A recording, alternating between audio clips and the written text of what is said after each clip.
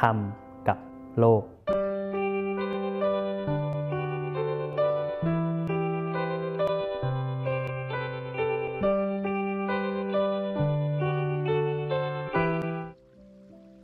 ตอนปหาราทะ จอมอสูร ปหาราทสูตร ว่าด้วย เท้าปหาราทะ จอมอสูร สมัยหนึ่ง พระผู้มีพระภาคเจ้า ประทับอยู่ณควงไม้สะเดา ที่นเลลุยักษ์สิงสถิต ใกล้กรุงเวรัญชา ครั้งนั้นเท้าปหาราทะจอมอสูรเข้าไปเฝ้า พระผู้มีพระภาคเจ้า ถึงที่ประทับ ถวายบังคมพระผู้มีพระภาคเจ้าแล้ว ยืนอยู่ ณที่ควรส่วนข้างหนึ่ง พระผู้มีพระภาคเจ้า ได้ตรัสถามเท้าปหาราทะ จอมอสูรว่า ปหาราทะ พวกอสูรย่อมอภิรมในมหาสมุทรบ้างหรือ เท้าปหาราทะ จอมอสูรกราบทูลว่า ข้าแต่พระองค์ผู้เจริญ พวกอสูรย่อมอภิรมในมหาสมุทร ปหาราทะในมหาสมุทรมีธรรมที่น่าอัศจรรย์ อันไม่เคยมีมาสักเท่าไหร่ ที่พวกอสูรเห็นแล้วย่อมอภิรม มีแปดประการพระเจ้าข้าแปดประการเป็นไฉนข้าแต่พระองค์ผู้เจริญ มหาสมุทรลาด ลุ่ม ลึก ลงไปโดยลำดับ หาได้โกรกชันเหมือนเหวไหมข้าแต่พระองค์ผู้เจริญ ข้อที่มหาสมุทรลาด รุ่มลึก ลงไป โดยลำดับ หาได้โกรกชันเหมือนเหวไหมนี้เป็นธรรมที่น่าอัศจรรย์ อันไม่เคยมีมาประการที่หนึ่ง ในมหาสมุทรที่พวกอสูรเห็นแล้วเห็นแล้ว จึงอภิรมอยู่ อีกประการหนึ่ง มหาสมุทรเต็มเปี่ยมเสมอไม่ล้นฝั่ง ข้าแต่พระองค์ผู้เจริญ ข้อที่มหาสมุทรเต็มเปี่ยมอยู่เสมอ ไม่ล้นฝั่ง นี้เป็นธรรมที่น่าอัศจรรย์ อันไม่เคยมีมา ประการที่สอง ในมหาสมุทรที่พวกอสูรเห็นแล้วเห็นแล้ว จึงอภิรมย์อยู่ อีกประการหนึ่ง มหาสมุทรไม่เกลื่อนด้วยซากศพ เพราะในมหาสมุทรคลื่นย่อมซัดเอาซากศพเข้าหาฝั่ง ให้ขึ้นบกทันที ข้าแต่พระองค์ผู้เจริญ ข้อที่มหาสมุทรไม่เกลื่อนด้วยซากศพ และในมหาสมุทรคลื่นย่อมซัดเอาซากศพ เข้าหาฝั่งให้ขึ้นบกทันที นี้เป็นธรรมที่น่าอัศจรรย์ อันไม่เคยมีมา ประการที่สามในมหาสมุทรที่พวกอสูรเห็นแล้วเห็นแล้วจึงอภิรมย์อยู่ อีกประการหนึ่ง แม่น้ำสายใหญ่ ๆ บางสาย คือแม่น้ำคงคา ยามุนาอจิราวดี สรภู มหี แม่น้ำเหล่านั้นไหลไปถึงมหาสมุทรแล้ว ย่อมละนามและโคดเดิมหมด ถึงความนับว่ามหาสมุทรนั่นเอง ข้าแต่พระองค์ผู้เจริญ ข้อที่แม่น้ำสายใหญ่ ๆ บางสาย คือแม่น้ำคงคายามุนา อจิราวดี สรภู มหี แม่น้ำเหล่านั้น ไหลไปถึงมหาสมุทรแล้ว ย่อมละนามและโคดเดิมหมด ถึงความนับว่ามหาสมุทรนั่นเอง นี้เป็นธรรมที่น่าอัศจรรย์ อันไม่เคยมีมา ประการที่สี่ ในมหาสมุทรที่พวกอสูรเห็นแล้ว เห็นแล้ว จึงอภิรมย์อยู่ อีกประการหนึ่ง แม่น้ำทุกสายในโลก ย่อมไหลไปรวมยังมหาสมุทรและสายฝนจากอากาศ ตกลงสู่มหาสมุทรมหาสมุทรก็มิได้ปรากฏว่า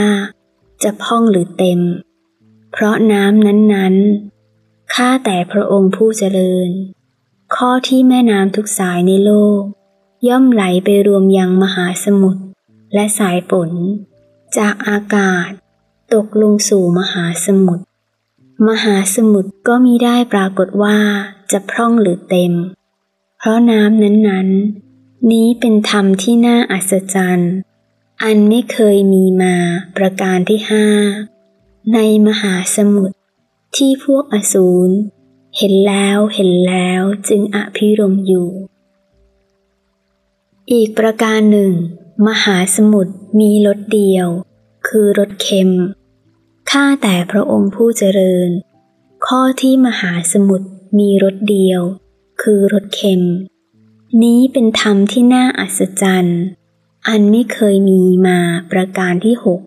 ในมหาสมุทรที่พวกอสูรเห็นแล้วเห็นแล้ว จึงอภิรมอยู่ อีกประการหนึ่ง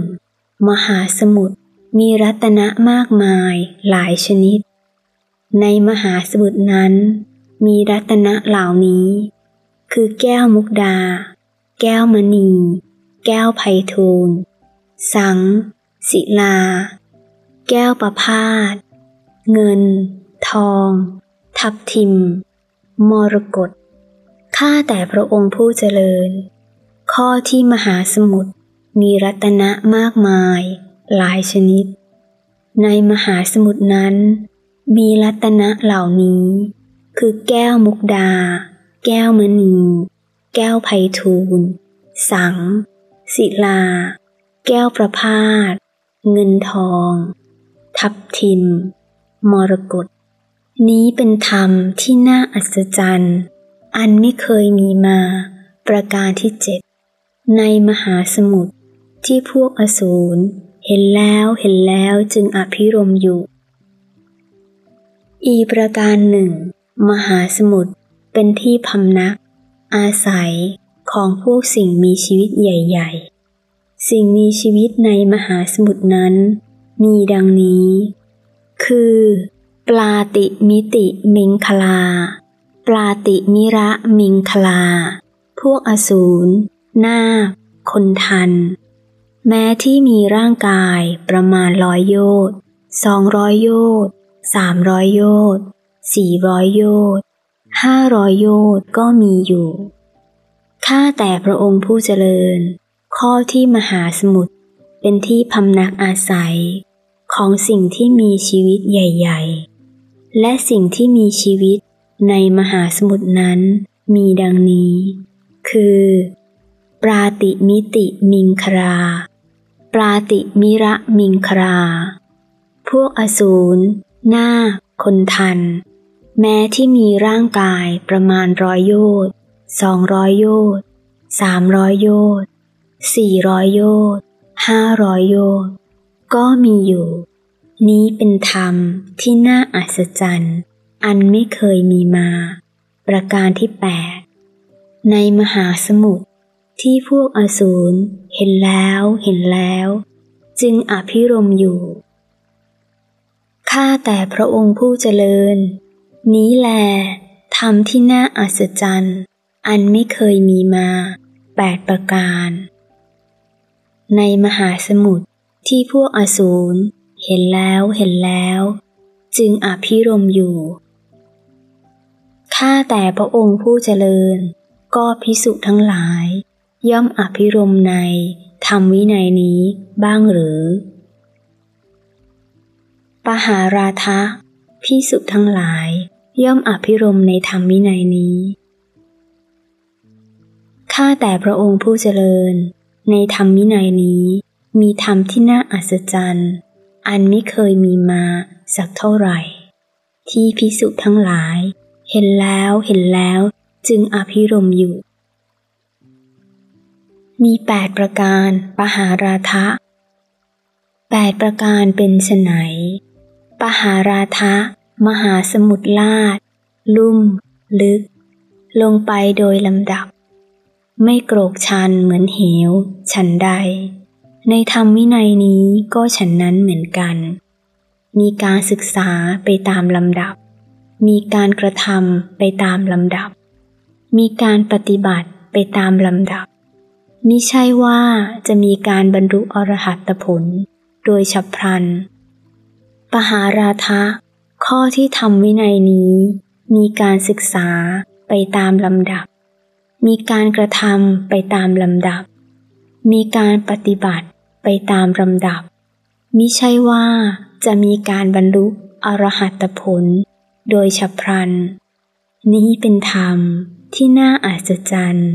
อันไม่เคยมีมา ประการที่หนึ่ง ในธรรมวินัยที่พิสุทั้งหลาย เห็นแล้วเห็นแล้วจึงอภิรมอยู่ ปหาราทะ มหาสมุทรเต็มเปี่ยมอยู่เสมอ ไม่ล้นฝั่งฉันใด สาวกทั้งหลายของเราก็ฉันนั้นเหมือนกัน ไม่ร่วงสิกขาบทที่เราบัญญัติไว้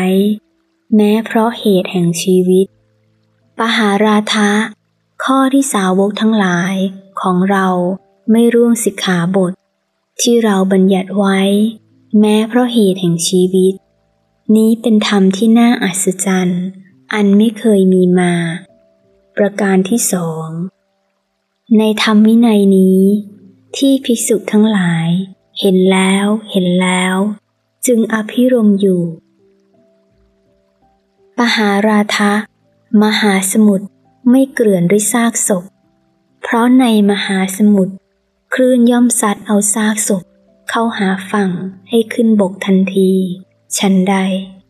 ปหาราทะฉันนั้นเหมือนกัน บุคคลผู้ทุศีล มีบาปธรรม มีสมาจารไม่สะอาด น่ารังเกียจ ปกปิดกรรมชั่วมิใช่สมณะ แต่ปฏิญญาว่าเป็นสมณะ มิใช่ผู้ประพฤติพรหมจรรย์ แต่ปฏิญญาว่าประพฤติพรหมจรรย์ เน่าใน ชุ่มด้วยราคะ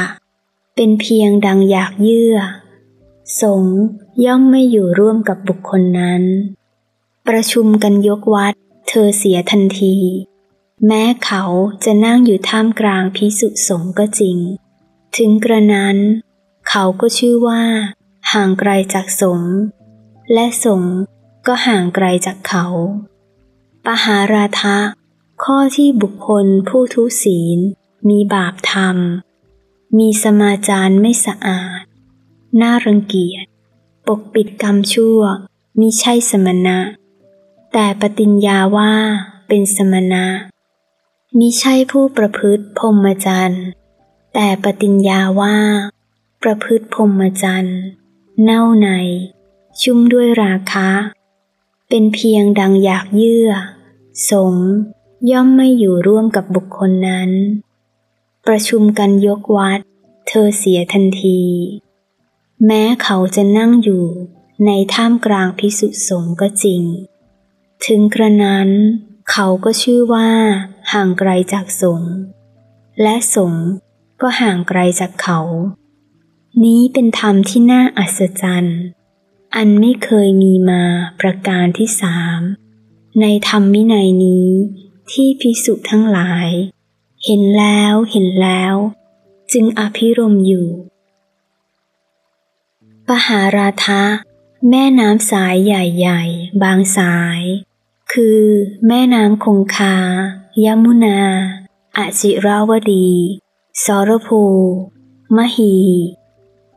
แม่น้ำเหล่านั้นไหลไปถึงมหาสมุทรแล้ว ย่อมละนาม และโคดเดิมหมด ถึงความนับว่ามหาสมุทรนั่นเอง ฉันใด ปหาราทะฉันนั้นเหมือนกันวันนะสี่เหล่านี้ คือ กษัตริย์ พราหมณ์ แพทย์ สูตร ออกบวชเป็นบรรพชิต ในธรรมวินัยที่ตถาคตประกาศแล้ว ย่อมละนามและโคดเดิมเสีย ถึงความนับว่าเป็นสมณะสากยะบุตรทั้งนั้น ปหาราทะข้อที่วันนะสี่เหล่านี้ คือ กษัตริย์ พราหมณ์ แพทย์ สูตร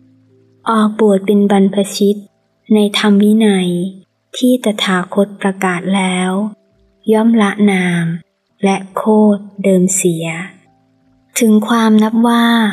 เป็นสมณะสากยะบุตรทั้งนั้น นี้เป็นธรรมที่น่าอัศจรรย์ อันไม่เคยมีมา ประการที่สี่ในธรรมวินัยนี้ที่พิสุทั้งหลาย เห็นแล้วเห็นแล้วจึงอภิรมอยู่ปหาราทะแม่น้ำทุกสายในโลก ย่อมไหลไปรวมยังมหาสมุทรและสายฝนจากอากาศ ตกลงสู่มหาสมุทรมหาสมุทรก็ไม่ได้ปรากฏว่าจะพร่องหรือเต็ม เพราะน้ำนั้นๆ ฉันใด ปหาราทะฉันนั้นเหมือนกัน ถึงแม้พิสุเป็นอันมาก จะปรินิพานด้วย อนุปาทิเศนิพานธาตุนิพานธาตุ ก็มีได้ปรากฏว่า จะพร่องหรือเต็ม ด้วยการปรินิพานนั้น ปหาราทะ ข้อที่ถึงแม้พิสุเป็นอันมาก จะปรินิพานด้วย อนุปาทิเศษนิพพานธาตุนิพพานธาตุก็มีได้ปรากฏว่า จะพร่องหรือเต็ม ด้วยการปรินิพานนั้น นี้เป็นธรรม ที่น่าอัศจรรย์ อันไม่เคยมีมา ประการที่ห้าในธรรมวินัยนี้ ที่พิสุทั้งหลาย เห็นแล้วเห็นแล้ว จึงอภิรมอยู่ ปหาราทะ มหาสมุทรมีรสเดียว คือรสเค็ม ฉันใด ปหาราทะฉันนั้นเหมือนกันธรรมวินัยนี้มีรสเดียว คือวิมุตติรส ปหาราทะ ข้อที่ธรรมวินัย มีรสเดียว คือวิมุตติรส นี้เป็นธรรมที่น่าอัศจรรย์ อันไม่เคยมีมา ประการที่หก ในธรรมวินัยนี้ที่พิสุทั้งหลาย เห็นแล้วเห็นแล้ว จึงอภิรมอยู่ ปหาราทะ มหาสมุทรมีรัตนะมากมาย หลายชนิด รัตนะในมหาสมุทรนั้นมีดังนี้ คือแก้วมุกดา แก้วมณี แก้วไพทูลสัง ศิลา แก้วประพาสเงิน ทอง ทับทิม มรกตฉันใด ปหาราทะฉันนั้นเหมือนกันธรรมวินัยนี้มีรัตนะมากมายหลายชนิด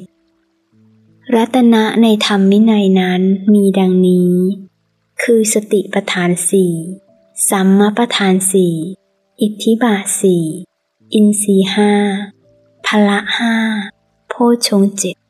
อริยมรรคมีองค์แปดปหาราทะ ข้อที่ทำวินัยนี้ มีรัตนะมากมายหลายชนิด รัตนะในธรรมวินัยนั้น มีดังนี้ คือสติปฐานสี่ สัมมปทานสี่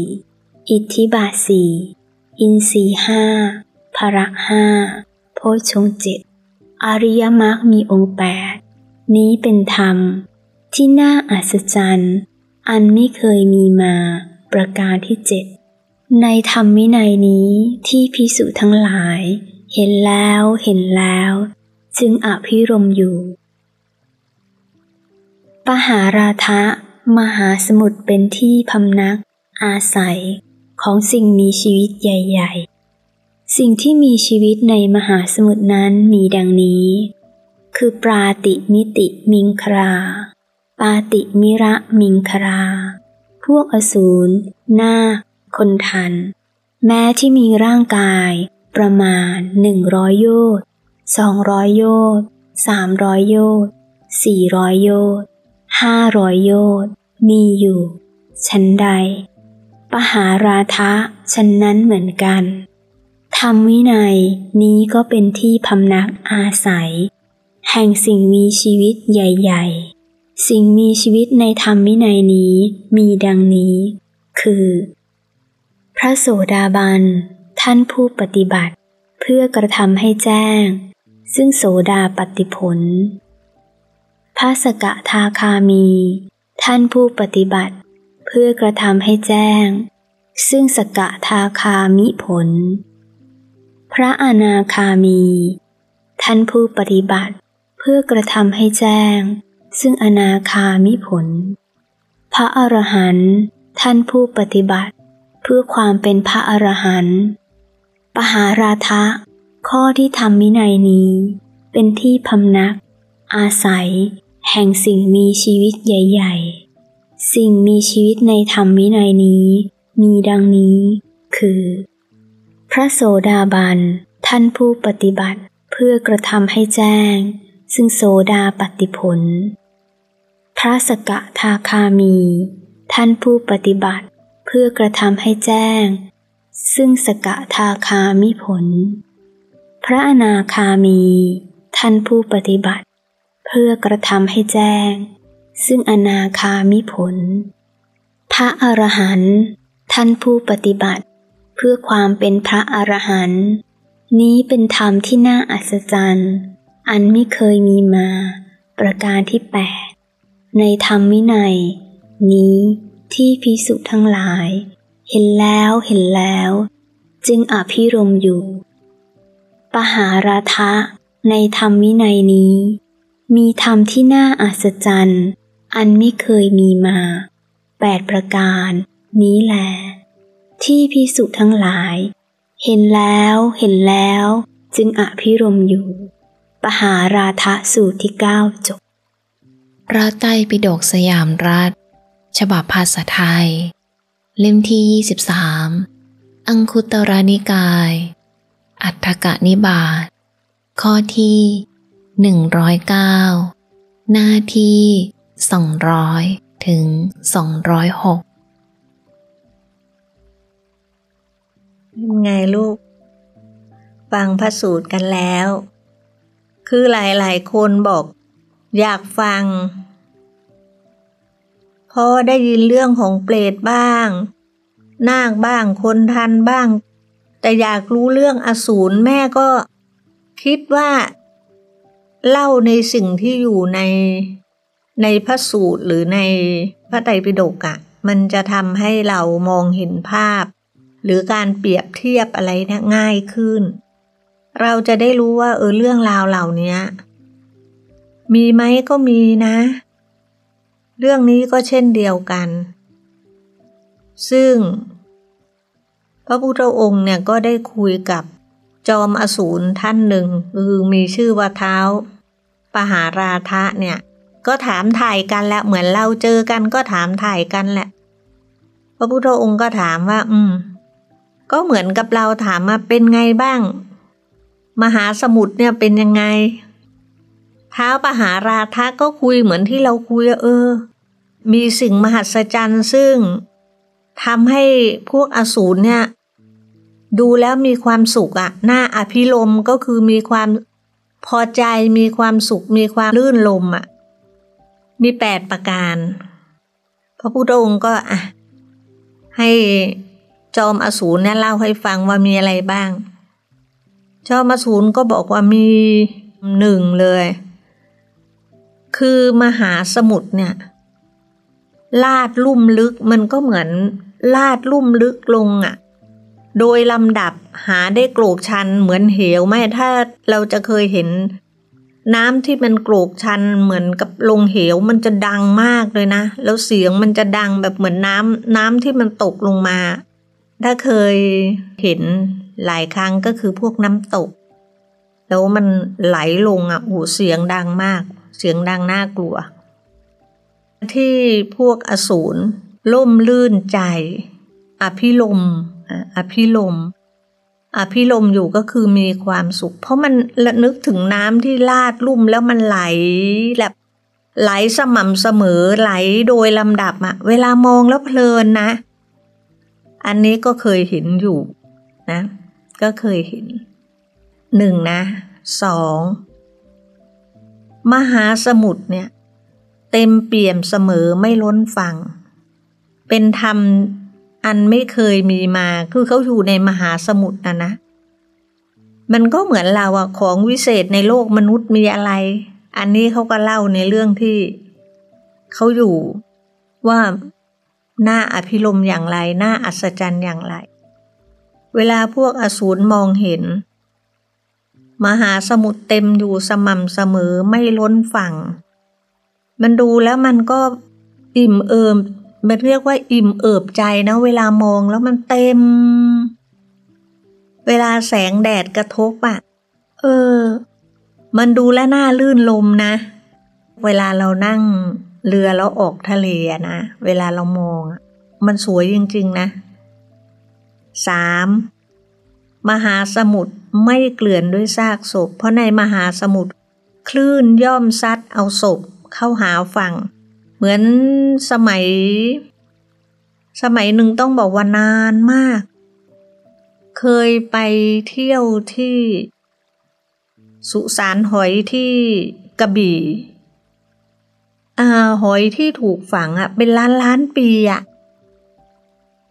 เราก็ไปเดินดูนะโหมหัศจรรย์จริง ๆ นะ มันเข้ามาหาฝั่งนะ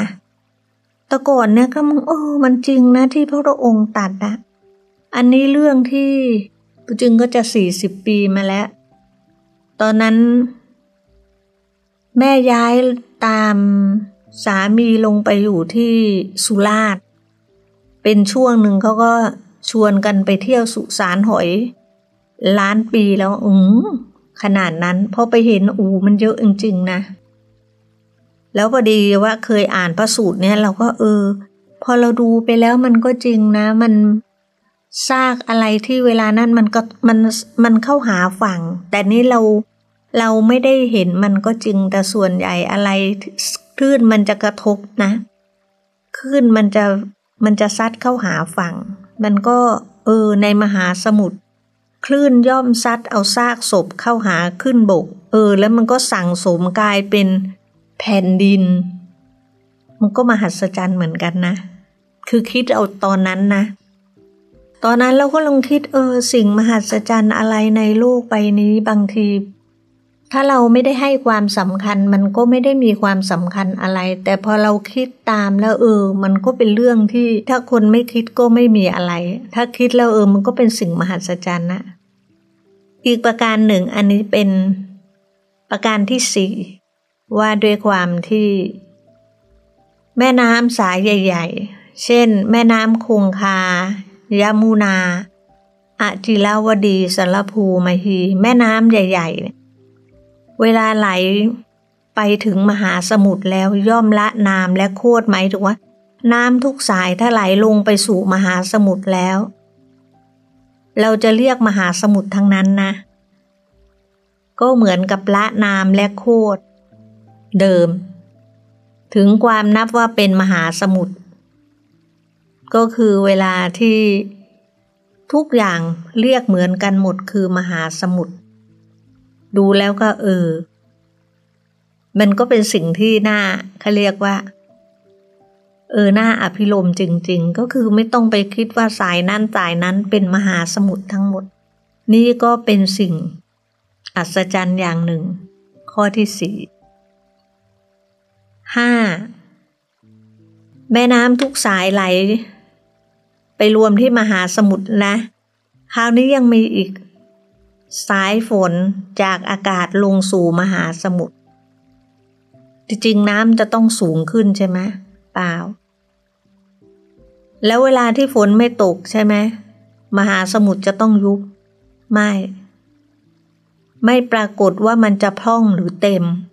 ก็คือไม่มีล้นแล้วก็ไม่มีพร่อง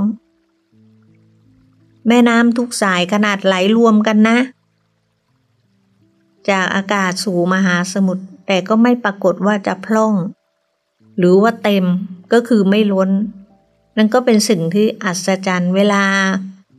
ที่พวกอสูรมองแล้ว เออ มันดูและน่าลื่นลมใจน่าอภิลมหกมหาสมุทรเราเคยคิดไหมมหาสมุทรมีรถเดียว มหาสมุทรมีรถเค็มรถเดียว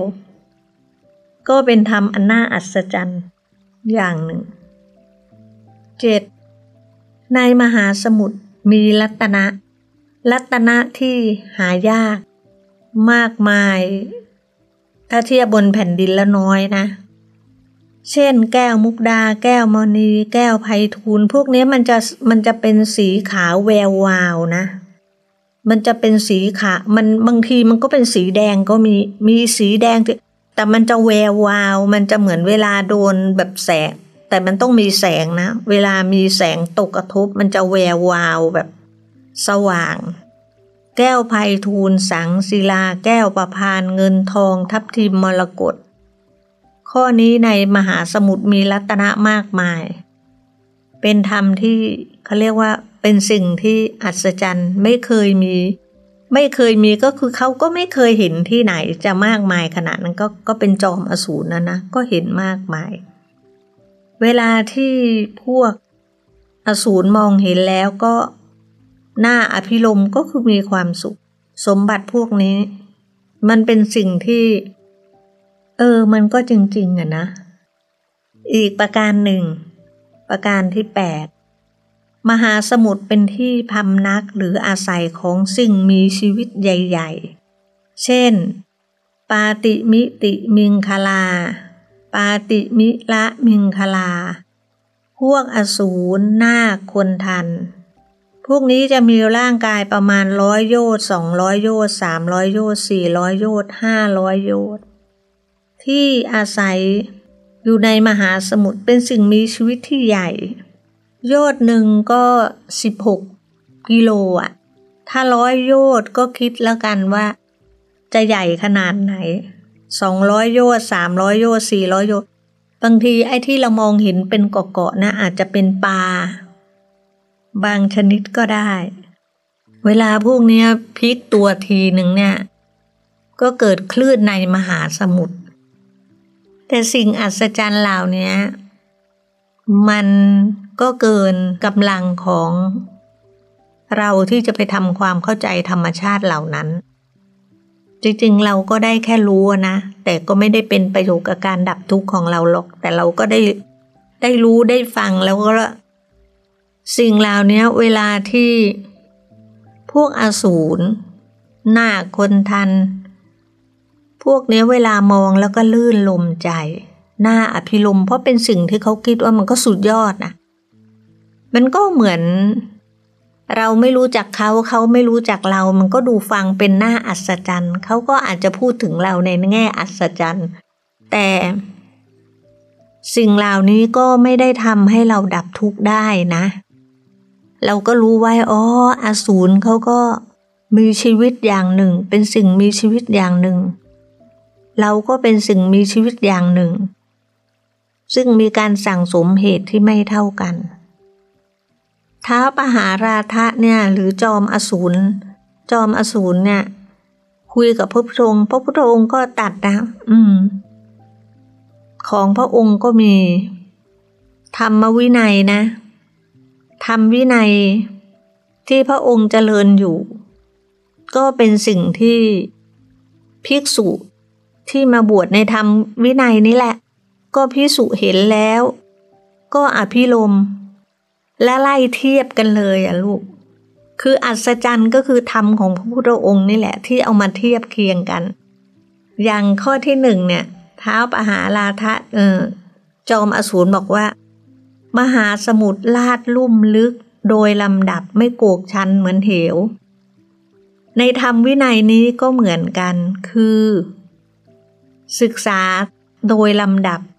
ทำตามโดยลำดับ ปฏิบัติตามโดยลำดับ มิใช่ว่าจะมีการบรรลุอรหันต์โดยฉับพลันนะมีการเทียบเคียงแบบว่า ความเขาเรียกว่าความอัศจรรย์ เป็นสิ่งที่ไม่เคยมีอ่าปหาลาทาพูดข้อหนึ่ง พระพุทธองค์ก็เทียบเคียงให้ข้อหนึ่ง คืออันนี้พูดถึง ต้องบอกว่าอนุสาสนีที่คำพูดที่เทียบเคียงให้เห็น ความอัศจรรย์ ว่าการที่เรารู้ธรรมจริง ๆ เนี่ย มันทำให้เราสามารถที่จะเทียบเคียง แล้วทำให้เกิดความคิดที่มันแตกต่างกับสิ่งที่เราคนทั่ว ๆ ไปมองอย่างหนึ่ง แต่ผู้ที่ศึกษาก็จะมองอีกลำดับหนึ่งว่าเออ มันก็เป็นธรรมที่น่าอัศจรรย์ เพราะมันต้องศึกษาโดยลำดับ ปฏิบัติโดยลำดับ ทำตามโดยลำดับมามันก็สามารถที่จะ คือเช็คได้ว่า เออ ฟังแล้วกระทำตามปฏิบัติมันเช็คผลได้อะอันนี้ทำหน้าอัศจรรย์หนึ่งแล้วนะ ที่พระพุทธองค์มาเทียบในเรื่องของมหาสมุทรที่ลาดลุ่ม ลึกกับศึกษาโดยลำดับข้อที่สองบอกว่า มหาสมุทรเต็มเปี่ยมอยู่เสมอไม่ล้นฝั่งชั้นใด อันนี้ข้อที่สองที่พระพุทธองค์เอามาเทียบเรียง สาวกก็ฉันนั้นไม่ล่วงสิกขาบท ที่พระองค์บัญญัติไว้ เพราะคนเหล่านั้นฟังโดยลำดับก็โอ้นี้ทุกนี้เหตุแห่งทุกนี้การดับไม่เหลือแห่งทุกแล้วก็รู้อ๋อทำหน้าอัศจรรย์ในอริยมรรค เมื่อพระองค์บัญญัติไว้หนึ่งข้ออะไรกุศลข้ออะไรอกุศล พอเทียบเคียงแล้วเนี่ย ก็ทำให้ท่านเหล่านั้นเนี่ย เห็นจริง ก็ไม่ล่วงสิกขาบทภิกษุนะพอเห็นแล้วเดินสงบจิตสงบ เวลามองเห็นใช่ไหมเวลาได้ฟัง ก็อภิลมคือลื่นลมใจนะข้อที่สองคือเทียบเคียงกันเลยนะ ยังมหาสมุทรเนี่ยสาม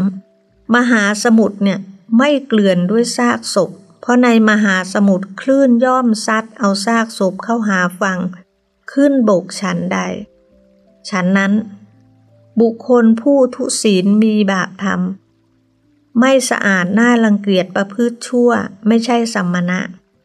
แต่บอกว่าตัวเองเป็นสัมมณะเป็นนักบวช สงเนี่ยย่อมไม่อยู่ร่วมกับบุคคลที่เป็นคนที่ไม่ดีอะประชุมกันก็คือหมายถึงว่าประชุมยกวัดก็คือไม่ยุ่งกับเธอซะ แม้เขาจะนั่งอยู่ท่ามกลางภิกษุสงฆ์ก็จริงแต่กันนั้น เขาก็ยังชื่อว่าห่างไกลจากความเป็นสงฆ์ก็คือให้เห็นว่าซากศพ กับสิ่งที่มันถูกซัดออกไป ไม่ปนกันน่ะ มันจะซัดซากศพเข้าหาฝั่งก็เหลือแต่น้ำที่เอ่อมองเห็นมองแล้วเออ มันไม่มีสิ่งที่น่ารังเกียจ เช่นเดียวกัน แม้ภิกษุสงฆ์ที่อยู่ท่ามกลางแต่เมื่อเรารู้ว่าคนนี้ไม่ดี รู้ว่าคนพวกนี้ไม่ดีมีบาปทำมีมีกริยาที่ไม่สะอาดน่ารังเกียจ พวกนี้เขาก็ไม่คล้อง ยกวัดก็คือ ไม่คล้องเกี่ยว แม้เขาจะอยู่นะท่ามกลางสงนะ แต่ก็ก็ยังชื่อ เรียกว่าห่างไกลจากสงนี้ก็เป็นธรรมที่น่าอัศจรรย์ก็คือมันจะมองกันออก มันเป็นอะไรที่แบบที่เอาพระสูตรนี้ก็คือให้เห็นการเทียบเคียงที่พระองค์เทียบเคียงให้ฟัง แล้วข้อสี่แม่น้ำคงคายมุนาอจิละวดีสรภูมหี ไหลไปสู่มหาสมุทรละนามและโคดเช่นเดียวกัน ภิกษุในธรรมวินัยนี้ก็เช่นเดียวกัน ไม่ว่าจะมาจากพราหมณ์ ไม่ว่าจะมาจากกษัตริย์ แพทย์สูตรพอออกบวชเสร็จ ชื่อว่าเป็นสมณะสากยบุตรทั้งสิ้น ละนามและโคดเก่านะ มีนามใหม่โคดใหม่เรียกว่าสมณะ นักบวช ในสากยบุตรก็คือบุตรของอตระกูลพระพุทธเจ้าแหละ เรียกว่าสมณะสักยบุตร ได้ฟังธรรมของพระพุทธองค์ อันนี้ภิกษุในธรรมวินัยนี้แล้วบอกว่าจึงอภิลมเพราะทุกคนต้องละจากญาติวงตระกูล มีชื่อเดียวเหมือนกันหมด มันก็เหมือนกับชื่อมหาสมุทรเวลาเราอ่าน อ่านพระสูตรเหล่านี้เราจะรู้สึกอืสุดยอดนะแม่น้ำทุกสายอ่านในห้านะ แม่น้ำทุกสายไหลไปยังมหาสมุทรฝนจากอากาศก็ลงมหาสมุทรจะพล่องหรือเต็มพราะน้ำนั้นนั้นฉันใด ฉันนั้นภิกษุก็เหมือนกัน คือ จะนิพพานธาตุก็คือนิพพานหมายถึงการดับเย็นก็คือธาตุที่มันดับเย็น จะนิพพานด้วยแบบไหน ดับเย็นด้วยแบบไหน ความอัศจรรย์ก็คือ มิได้ปรากฏว่าจะพร่องหรือจะหายไปหรือจะมากขึ้นด้วยการปรินิพพาน ไม่มี คือ เป็นธรรมที่อยู่ เรียกว่า ไม่มีพร่องอะ่ะ ไม่ว่าจะนิพพานธาตุหรือ อ่า อนุปาทิเสสนิพานก็คือการที่จะนิพพานแล้วหรือจะยังอยู่ด้วยนิพพานธาตุคือยังอยู่ที่ธาตุได้หยับเย็นหรือเสียชีวิตไปแล้ว แต่นิพพานนั้นก็ยังเป็นสิ่งที่ คือทุกคนเข้าถึงได้อะไม่มีมากหรือไม่มีน้อยอะเป็นสิ่งที่เราเรียกว่าเป็นสิ่งที่น่าอาภิรมพอฟังแล้วเราก็ ตราบใดที่ยังมีอริยมรรคอยู่ ตราบนั้นทุกคนก็ยังสามารถเข้าถึง นิพพานได้ทุกคน ข้อหกที่พระองค์อุปมา อุปมาด้วยมหาสมุทรที่บอกว่า มีรถเดียว ก็เออมันก็มีรถเค็มรถเดียวจริง ๆ นะ ในธรรมวินัยของพระพุทธองค์ก็มีนะ มีรถเดียวเหมือนกัน เรียกว่าวิมุตติรถก็คือการหลุดพ้น ก็คือหลุดออกจากการยึดมั่นถือมั่นในขันหาวิมุตติก็คือหลุด ไม่มามัวเมา ก็มีรถเดียวเหมือนกันพอหลุดพ้นแล้วอะมันก็จะรู้ด้วยตัวของตัวเองเลยเหมือนเราไปชิมน้ำชิมน้ำในมหาสมุทรเราก็เท่านั้นแหละคนชิมจะรู้ว่าเค็ม คนไม่ชิมก็พูดยังไงก็ไม่เข้าใจ เช่นเดียวกันเมื่อผู้ปฏิบัติ เข้าใจในธรรมแล้วก็จะเสพก็คือความรู้สึกนั่นแหละ เป็นธรรมที่น่าอัศจรรย์เป็นคู่คู่เลยนะ พระสูตรนี้ลูกฟังซ้ำๆก็ได้หรือลูกจะไปหาอ่าน ก็ได้ จะทำให้เรารู้สึก ศรัทธาเราจะเต็มเปี่ยมจะมีกำลังใจ เจ็ดอีก อันนี้จะพูดถึงว่ามหาสมุทรเนี่ยมีรัตนะมากมาย แก้วมุกดา แก้วมณี แก้วไพทูลสัง แก้วประพาน เงินทองทับทิมมรกตในธรรมวินัยนี้พระองค์ก็บอกมี รัตนะในธรรมวินัยเนี้ย ก็คือสติปัฏฐานสี่ สัมมาประธานสี่อิทิบาทสี่อินทรีห้าพละห้าโพชงเจ็ดอริยมรรคในองค์แปดข้อที่ทำวินัยนี้มีลัตนะมากมายหลายชนิดเหมือนกันนะเป็นช็อตๆเลยนะ ซึ่งเป็นธรรมน่าอัศจรรย์ ไม่เคยมี มีตอนที่พระองค์ตัดสรู้นี่ก็คือสิ่งที่อัศจรรย์ที่พระองค์ตัดแปดยังมีอีก มหาสมุทรที่พำนักของเท้าปหาราทะอยู่เนี่ย มีสิ่งมีชีวิตที่ใหญ่ ๆ ปาติมิติมิงคลา ปาติมิละมิงคลา พวกอสูรหน้าคนทันมีร่างกายใหญ่ ประมาณร้อยโยชน์สองร้อยโยชน์สามร้อยโยชน์สี่ร้อยโยชน์ห้าร้อยโยชน์พระองค์ก็บอกว่า อืม ในธรรมวินัยนี้ก็มีที่พำนัก ของสิ่งมีชีวิตใหญ่ ๆ สิ่งมีชีวิตในใหญ่ ๆ ในธรรมวินัยนี้คืออะไร พระโสดาบันสกิทาคา อนาคาจงกระทั่งพระรหันเป็นที่พำนักอาศัยของสิ่งมีชีวิตใหญ่ ๆ ไหมไม่ไม่ด้อยกว่ากันเลยนะ เป็นธรรมอันน่าอัศจรรย์ อันไม่เคยมีมาในแปดประการ พิสูจน์เนี่ยที่ได้ฟัง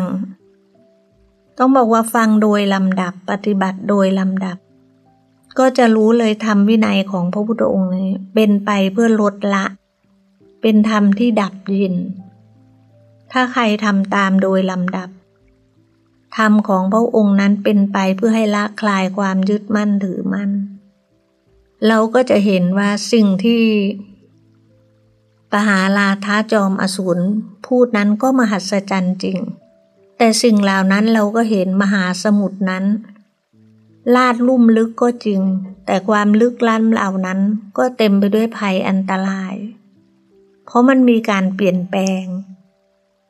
ถ้าขึ้นชื่อว่าธาตุเนี่ยมันแปรปรวนแล้วมันก็เปลี่ยนแปลง แต่นิพพานธาตุเนี่ยมันดับเย็น มันต่างกันคนละเขาเรียกว่าธรรมที่อัศจรรย์คนละฝั่ง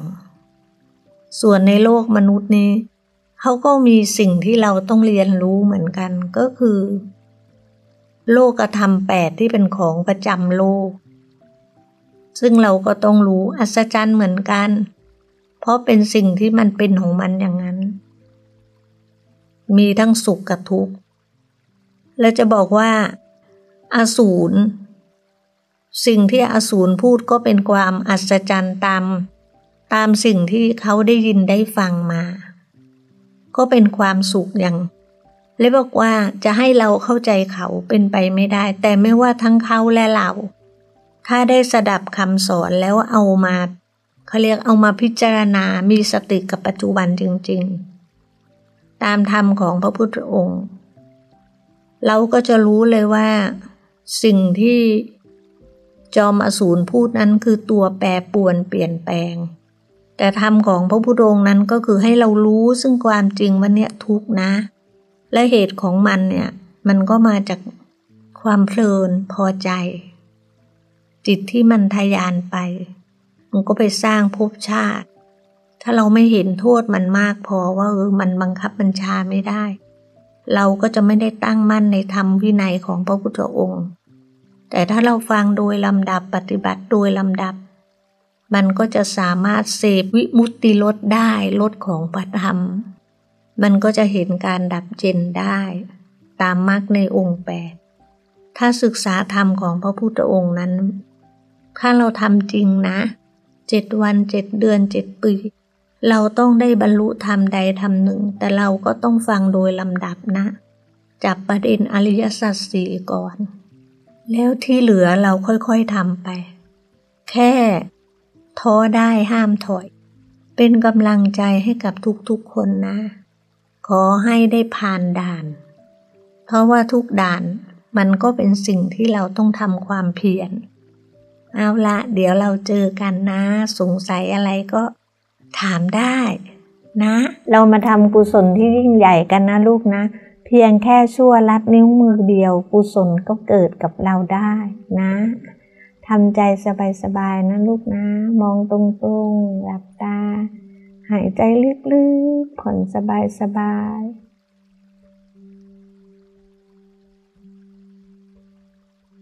ไม่ว่าเราจะรู้สึกอย่างไร คิดอะไรมันก็จบไปแล้ว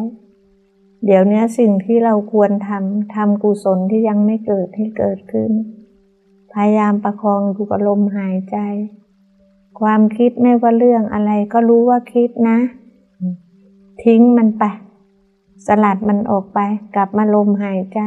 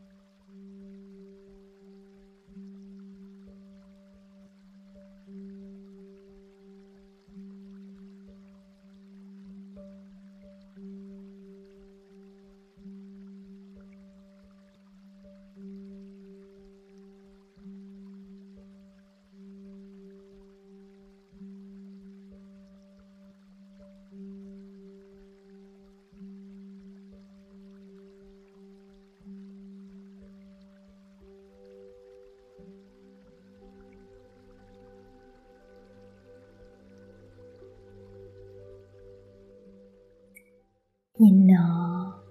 อินหนออินหนอ ทุกท่านได้นั่งมาพอสมควรแก่เวลาแล้วนะคะ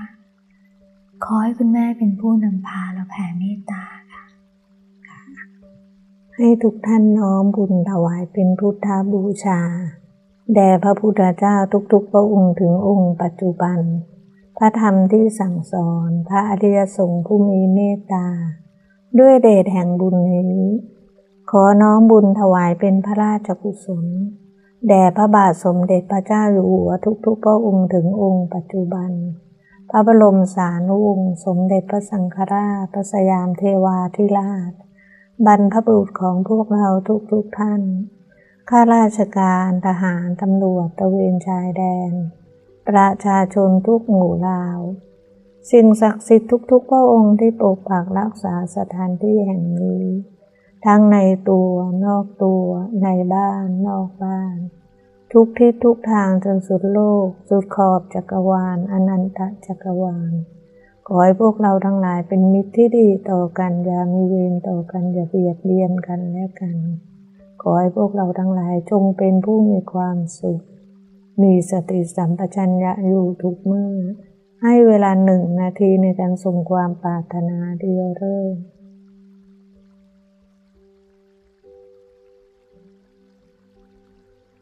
สาธุ สาธุ สาธุ ก็ขอให้ทุกท่านสุขสมหวังดังที่ปรารถนา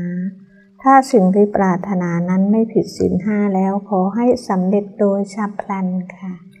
สาธุ สาธุ สาธุ สาธุ